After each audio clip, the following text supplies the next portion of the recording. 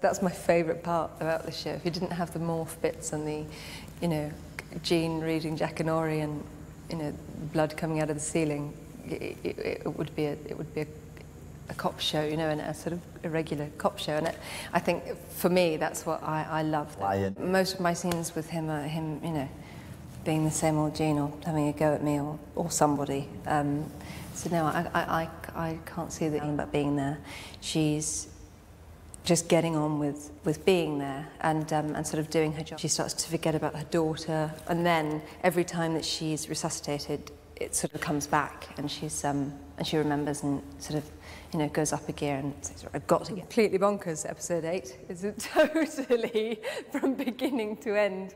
Um, it's just insane, but that's what's that's my favourite part about the show. I think it's the first time that uh, that Gene, uh, the Gene has met Summers. Naughty Gene.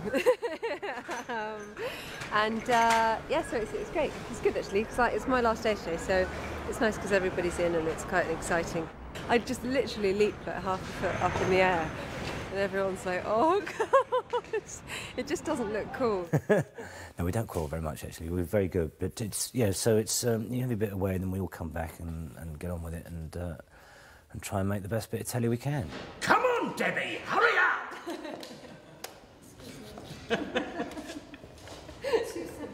Aren't we horrible? You said we You know people so well by then, and um, and, I, and I, you know I feel like we all we all do do know each other, and we've all kept in touch through through the rest of the year. So that's quite unusual, actually. All of us have um, either met up or spoken on the phone, or we've been texting. So.